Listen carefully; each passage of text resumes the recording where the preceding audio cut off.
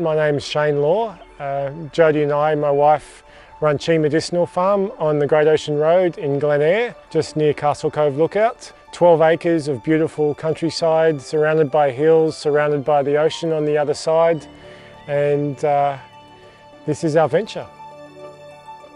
The premise of our business is Chi Medicinal Farm and so the inception of that idea really came about just from pooling all of our skills together and our philosophy and interest in kind of the eastern and western medicines. Pretty new industry but I think it's right on trend and within our philosophies of staying healthy and treating your body right. Initially when we first came here and we didn't have any internet available, it was a real struggle. Um, in fact, we were driving either to town or we were going up the hill to, um, to use our office.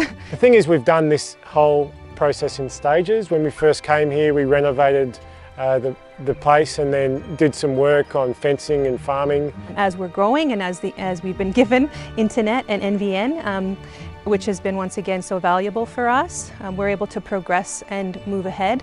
We use the internet for bookings, for accommodation. That's probably the main thing at the moment. We also use it for finances. All of our payments go through online, most things, banking of course. We also have um, courses that we're doing at the moment. At first it was a struggle and once we got it, it was just like, like I said, it was like just changed everything for us and we could move forward and, and it's made a real difference. I couldn't do without my husband and the NBN and that's, that's the truth.